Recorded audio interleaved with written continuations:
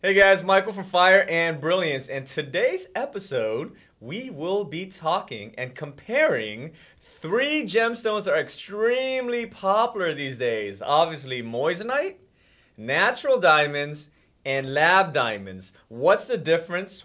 How are they the same? What's the pros and cons?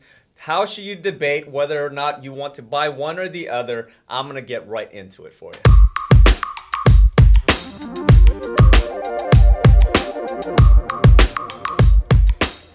When comparing moissanite, a lab diamond, and a natural diamond, I'll give you seven points to compare it when you are deciding on which one you should purchase. Now, first and foremost, if you are into the hardness of a gemstone, basically a natural diamond and a lab diamond are both made of almost 100% carbon.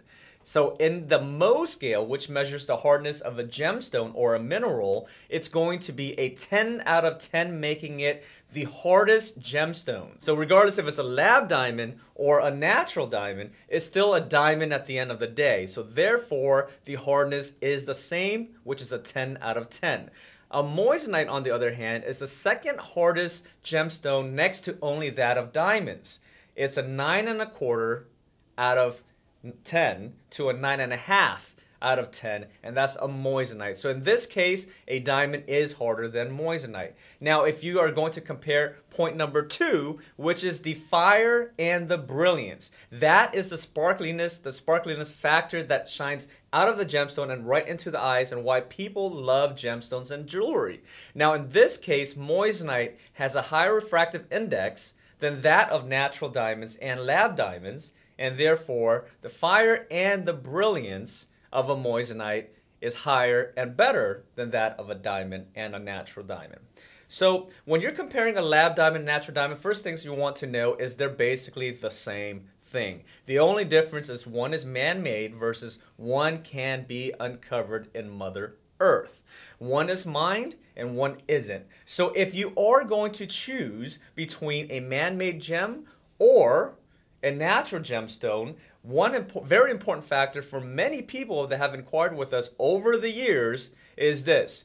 Is it mined or is it man-made? Because of the fact that a mined gemstone has a huge environmental impact on the environment in which it is mined in. So if that is important to you, then a natural diamond is definitely mined.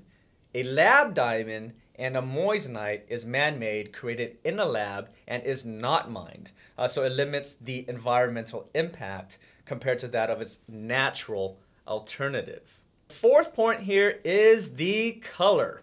Now the color of a natural diamond as well as a lab diamond and a moissanite when comparing clear and white stones to a warm stone based on the GIA diamond scale from a D to a Z, a D being the whitest gemstone, a Z being the warmest of the color range, both or all three of these gemstones, a moissanite, a diamond, and a natural diamond, can range between all of that color range. So they're all the same. So in, in other words, they're all equal in terms of color. So if you're into very white gemstones in the D side of things, you can choose that for moissanite diamonds, natural diamonds, as well as lab diamonds. And if you're into a very warm stone, you can also choose that as well for moissanite, natural diamonds, as well as lab diamonds. And point number five. Now, when choosing gemstones, you don't want to be limited to just the type because when you're wearing a gemstone, there are other factors of the gemstone as well, such as the shape and the size. Uh, in other words, you could buy a round shape, a marquee shape, an oval, a cushion, a radiance, an emerald, and you have it all the multiple shapes of gem, different gemstones. For a moissanite, a lab diamond, as well as a natural diamond, there are many, many, many different cuts, as well as many different shapes. So in this specific aspect of your decision-making process of which gemstone you should choose, all of these gemstones do come in a variety of different shapes and sizes so that you can choose it based on your own taste and preference. So the sixth point is is a moissanite, a lab diamond, and a natural diamond a commonly accepted uh, gemstone worn on jewelry? If you were to ask us 10 years ago or even 20 years ago, anything lab created was not very common at all. Uh, it was all naturals, natural sapphires, natural diamonds, natural, uh, you what you name it, natural rubies, emeralds, uh, you know, topaz, you name it. They were all mostly naturals about 20 years ago.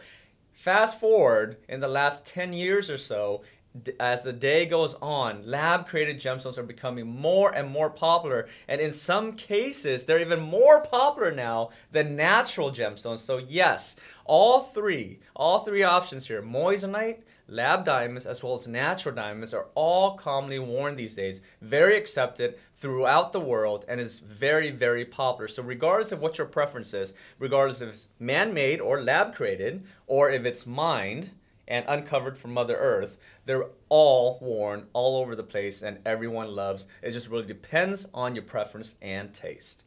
And the last point, point number seven, the most important point for many, many, many people is the price point, right? Uh, so which one is the most expensive relative to the best bang for your buck, relative to what you get out of it. So if I'm going to spend X amount of dollars, what am I getting for this gemstone? What am I getting from a moissanite? What am I getting from a lab diamond? And what am I getting from a natural diamond?